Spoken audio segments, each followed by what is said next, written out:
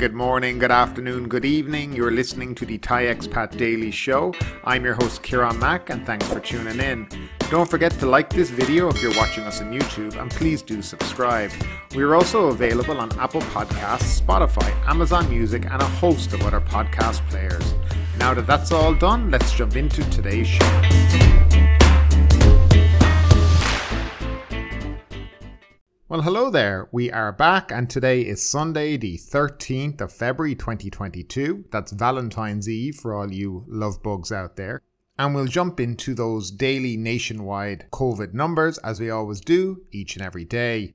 The country registered 25 more COVID 19 fatalities and 16,330 new cases during the previous 24 hours, the Public Health Ministry announced early Saturday morning. This compared with the 23 coronavirus related fatalities and 15,242 new cases they reported the day before. There were 16,100 local cases and 150 imported ones. On Friday, 9,205 COVID 19 patients were discharged from hospital after recovering from the coronavirus. Now, as we said, 16,330 confirmed new cases, with about 8,354 probable cases. So we're looking at numbers somewhere around 25,000. 150 cases from abroad and 131 from prisons. Out of the 118,493 patients, 56,099 are in hospital. There were 25 deaths, 610 people are now in ICU, with 128 on ventilators. Chonburi Public Health Office is reporting 813 confirmed cases, 521 probable cases, and no deaths. Most confirmed cases were in Chonburi with 223, Sirat with 203, and 131 in Banglamung, Pattaya area. There are 6,168 patients now in care there. And Phuket Health Office reported 587 new cases on the island, out of which 478 are local and 109 are from abroad. There were no new deaths, and there are now 5,151 people in care. Now, as you can see, the numbers have started to rise daily over the last four to five days. I will not be using words such as surging, ravaging, which is what the local media here in Thailand seem to be calling it. They're increasing. I think it's been expected. Most of us would have expected it at this stage. But uh, Thailand's COVID 19 zoning has remained unchanged from the CCSA meeting that they had on Friday, despite this uh, increase in infections. The Centre for COVID 19 Situation Administration has decided to maintain the current zoning of COVID 19 areas, even though daily infections are on the rise, especially in sandbox provinces, according to the CCSA spokesman Dr. Taweesin. He told a press conference that 5,435 COVID 19 infections were reported today in the eight sandbox provinces and 3,792 cases in the 18 other areas, altogether accounting for about half of the infections nationwide. He urged people in those 26 provinces to help health officials to reduce the infection rate so the economy can move forward without further disruption. The current zoning of COVID 19 areas is as follows 44 orange or controlled areas, 25 yellow or high surveillance areas, and 8 sandbox areas. On Thursday, Dr. Chakarat attributed the jump in infections in 23 provinces to the relaxation of lockdown measures and increased social gatherings, as he urged travellers to those provinces to be extra careful, especially people affected by underlying conditions. He pointed out that last week, infections among children and teenagers were on the rise, mostly infected by family members at schools or by other people in their communities.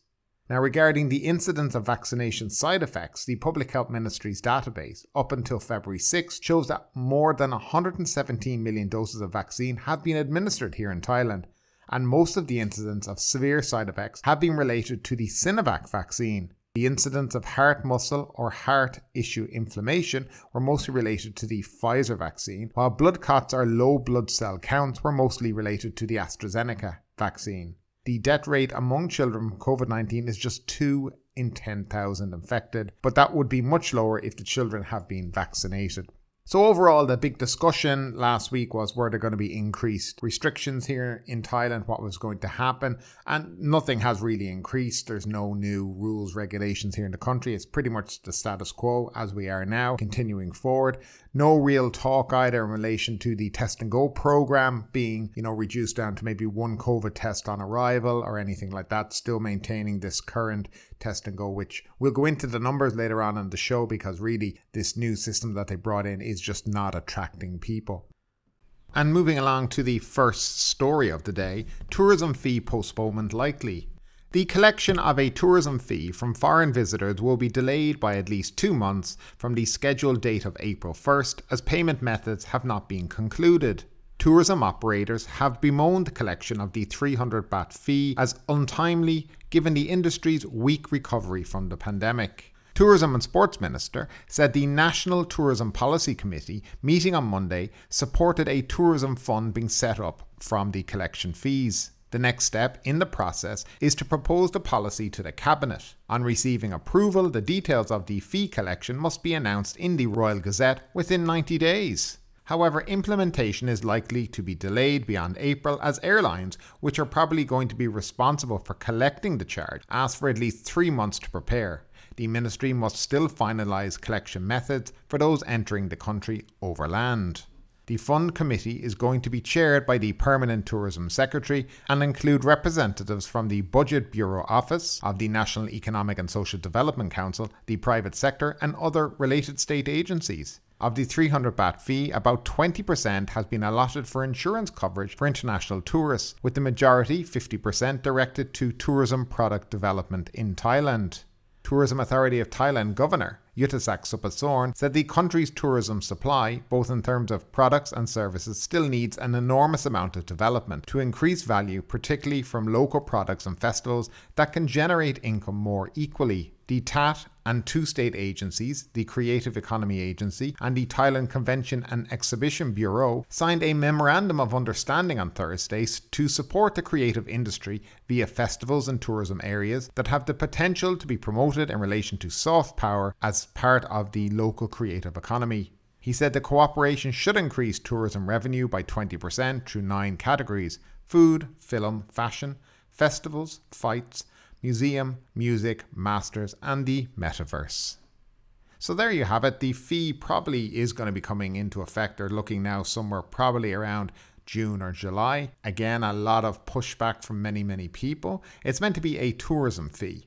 So they've yet to figure out or announce how a Thai person who's returning home or leaving because they're not tourists would be exempt from doing it. How would they get this money back that they would be paying if they could get the money back? If it's going to be a tourism fee, then why would long term expats in the country have to pay it as well? Will there be a mechanism for them to get this money back? You know, if you're if you're, for example, a businessman who lives in Thailand and you travel to various parts of Southeast Asia, because people do, you know, weekly that kind of money adds up over the course of the year. So I think kind of exemptions should exist. If they're going to bring in a tourism fee, then exemptions should exist for, you know, Thai citizens living in the country who travel outside and long-term expats who live here who have non-immigrant visas, etc. But we'll see where it goes and we'll let you know when it comes into effect and how that will affect the actual price of your ticket. And next up, Anti-Amnesty International drive picks up.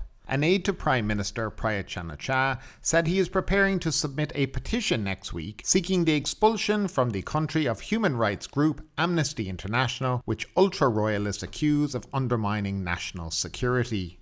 Seksakal Attawang, a vice minister in the office of the prime minister, said the petition opposing Amnesty's presence in Thailand had garnered 1.2 million signatures. The petition will be submitted to the National Security Council Interior Ministry within a week. Ultra Royalists have accused the London based group of stoking unrest by calling for a halt of the filing of criminal charges against people who urge reform of the monarchy. This organisation destroys the security of the country. It supports groups that want to topple the monarchy. It lacks impartiality and sided with an anti government movement that is anti constitutional monarchy, Mr. Seksakal, a former red shirt rabble rouser known as Rambo Isan, told Reuters. General Prayut in November ordered an investigation into Amnesty. He has not commented publicly on the petition. The drive to expel Amnesty gained traction after it made comments in support of three protest leaders whose actions were deemed by the Constitutional Court as an attempt to overthrow the monarchy. Amnesty, in a statement on Friday, urged the government to honour its human rights obligations. While we recognise that the Royal Thai government has a duty to protect public order and national security, we continue to highlight that authorities must do so in a manner that is in accordance with international human rights law, it said. Youth led protests against the Prayut government gathered pace late in 2020 and included unprecedented calls for royal reform that triggered a crackdown by authorities. More than 1,700 activists now face security related charges, including at least 169 charged under the Lese Majeste law that punishes perceived royal insult by up to 15 years in jail. The move against amnesty comes as the government also seeks to pass a law regulating non profit organisations. More than 1,000 local and international groups have opposed it, saying it threatens to gut civil society. A controversial draft law regulating non profit organisations could muzzle freedom of expression, experts say. The bill has broadly defined the organisation subject to its regulation as non profit, which covers not only non governmental organisations, that's NGOs, but other groups of people formed to exercise their freedom of expression, noted the Secretary General of the Foundation for Consumers. Organisations covered by the bill would be required by law to disclose mission statements and their sources of funding they would be prohibited from engaging in activities vaguely defined as detrimental to national security or social harmony. And moving along to the featured story of today, hopes pinned on India travel bubble. Thailand will soon initiate a travel bubble with India with the main goal of attracting high value young Indian visitors who can make a significant contribution to the recovery of the kingdom's tourism dependent economy. The Centre for COVID 19 Situation Administration on Friday approved a proposal on the Thai Indian air travel bubble, that's the ATB, in which extra convenience will be offered to air passengers travelling between the two countries, despite some remaining COVID 19 restrictions, said the CCSA spokesman. Airlines and air ticket agents, together with COVID 19 controlled authorities, will play a key role in this bilateral tourism promotion campaign, he said. About 1.9 million Indian tourists came to Thailand in 2019, a 25% increase from the previous year, said the spokesman, citing figures from the Ministry of Tourism and Sports. They each spent 7 days and 44,700 baht in Thailand on average, he said. In 2019, this generated about 80 billion baht for Thailand's tourism income, a 20% rise from the previous year when India had already become Thailand's third largest tourism market, with over 300 flights running from India to Thailand, the spokesman said. Indian visitors represent Thailand's hope for the recovery of tourism, said the vice president of both the Tourism Council of Thailand and the Indian Thai Chamber of Commerce. India is a high value tourism market, given it has 600 to 700 million people aged 29 years and under, she said. The country also has a growing number of new millionaires. The Ministry of Tourism and Sports previously forecast 20% growth in the numbers of Indian visitors to Thailand by 2030, while the World Bank projected that 83 million Indian tourists will be travelling overseas by the same year, up from 24 million in 2017, Ms. Samsong said. Thailand's main rivals for Indian tourists are Dubai and Singapore, she said. Holidaymakers account for 85% of visitors from India. They are mostly aged 25 to 35 years of age and like to travel with groups of friends, family, or as a couple, she noted. Spokesman Thanakorn Wangbunkanchana said earlier the government hoped to start talks with China and Malaysia this month in a bid to secure more travel bubbles. The COVID 19 test and go scheme for foreign tourists restarted on February 1st. So it's unclear what exactly they mean by travel bubbles, because surely the test and go program that they have now is what they will be offering them. I can't see them getting any special privileges in relation to arriving in the country and not having to do certain COVID tests and whatnot. The Thai government have become very strict upon that. And it does make you wonder what exactly they're talking about. I think the idea of the travel bubble with India is just so they can start to allow flights from India to Thailand directly because right now if you're an Indian citizen you want to come to Thailand you have to fly to like Abu Dhabi or Dubai and then fly to Thailand. There is no direct flights still. And that's because of the Indian government have basically banned flights leaving. And I think they've extended that ban to the end of February so this won't be starting certainly this month. It's interesting that every travel bubble seems to focus on these are the people that are going to save the Thai economy for some reason. Uh, it was China last week, it was Malaysia, now it's India. I, I just wonder perhaps they take what they have, which is the test and go program, reduce it down to its skeleton, its minimum, and see does that start to attract more people now, to look at the international arrivals since the quarantine free, and I say that very loosely, since November, right? So the total arrivals. In November, we had 133,061 arrivals. In December, we had 290,617. In January, 189,193, and that's despite the suspension of the test and go on the 22nd of December. Now, from the 1st to the 10th of February, which is when the new test and go came in, okay, we've had a total of 55,823 arrivals. Now that works out an average at about 5,500 travelers each day arriving into Thailand. It's not many at all. And I would solely put this down to the entry requirements. The Thailand Pass, the COVID test on arrival and the COVID test on day five. And actually, the pre departure, in my opinion, also is, is a game changer in that it forces people now to have nearly three COVID tests before they get to enjoy their holiday, really, you know, if you think about it. And so, yes, you can see that this test and go program is not working in any shape or form. Five and a half thousand arrivals each day. I mean, that's nothing when you consider you're talking about the arrivals at Bangkok, Phuket, so yeah, it's very, very little. And actually out of that, the test and go was only 23,000. There was 27,000 sandbox and then uh, the AQ, the quarantine is just over 5,000. So yeah, very few people coming into the country. I'm not sure if we're going to see a real huge increase over the next few months. Those kind of things are still up in the air because of the restrictions to get here and the concept of what they think travelers are willing to undergo. And as we can see from this, people are not willing to spend hard earned money to come to Thailand to be subjected to this kind of rigorous PCR testing. Now, a very interesting fact that's come out over the last couple of days is in relation to Russians traveling to Thailand. Now, since the 1st to the 10th of February, we have had about 4,103 people fly from Russia to Thailand. And out of that 4,103, 768 of them have tested positive, which is about 18.5%. Now, that to me is shockingly high for a single country of people. The average for most countries is around 3.5%. Last month, the total average was 3.73%. So there is a significantly high set of people coming from Russia that are testing very high. And actually, next on that list is Kazakhstan, right, which is 7%. So you have a huge amount of people from Russia, a former Russian uh, country, whatever you want to call it, that are testing very, very high. And what are the reasons for that? Now, some research into this whole topic about uh, fake PCR tests and fake vaccine certificates is I think, where the problem lies. Firstly, in Russia, it's apparently quite easy to get yourself a fake vaccine certificate. And this fake vaccine certificate is a real fake in that you have not had any shots, but you are in that government database to say you've had your shots.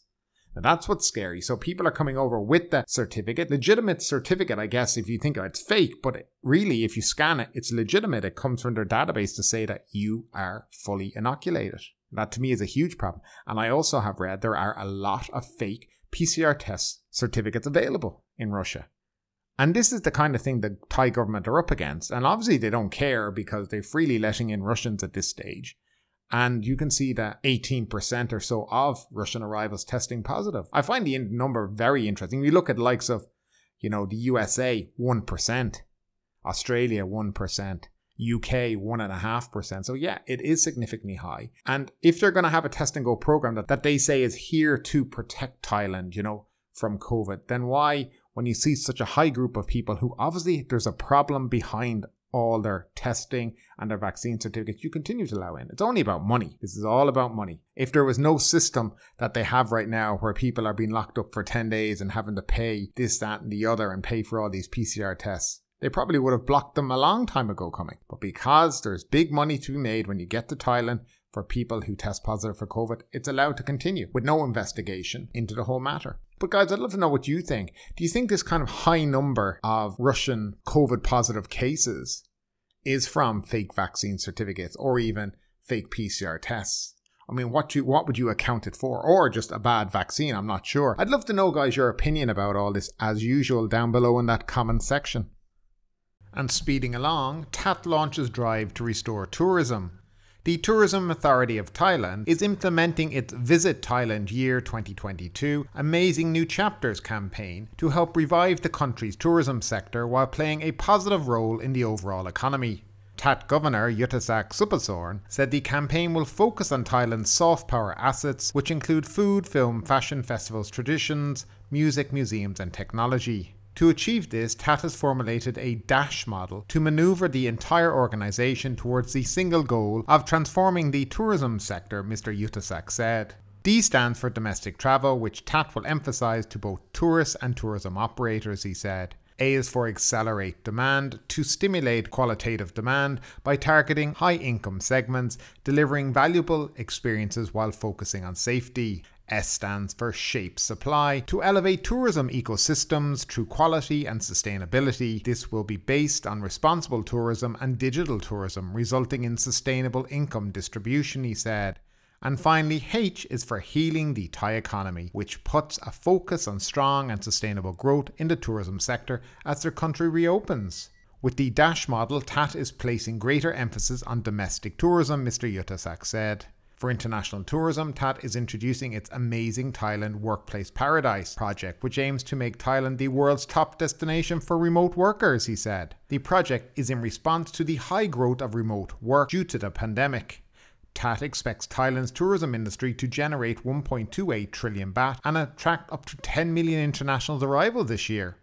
Some 656 billion baht is expected to come from the domestic market and 625 billion baht from the international market. Domestic tourists spend an estimated 4,100 baht per person, compared to 62,580 baht per person on average for foreign tourists.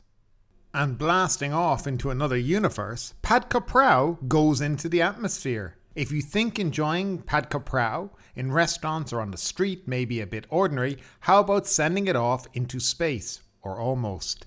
The Geoinformatics and Space Technology Development agency and related authorities have launched an experiment in Nakhon Sawan province in which they send Pad Kra Prao to the atmosphere using high altitude balloons to find out whether the altitude had any effect on the ingredients. The experiment will be used as a model for future scientific research, particularly into space. It can also be used as a model for other experiments at altitudes of 30 to 100 kilometers above the Earth's surface.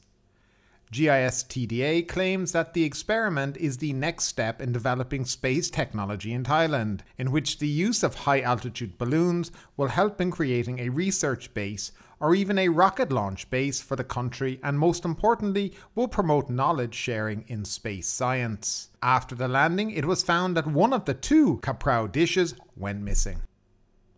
And finally, the Phuket News Data Report.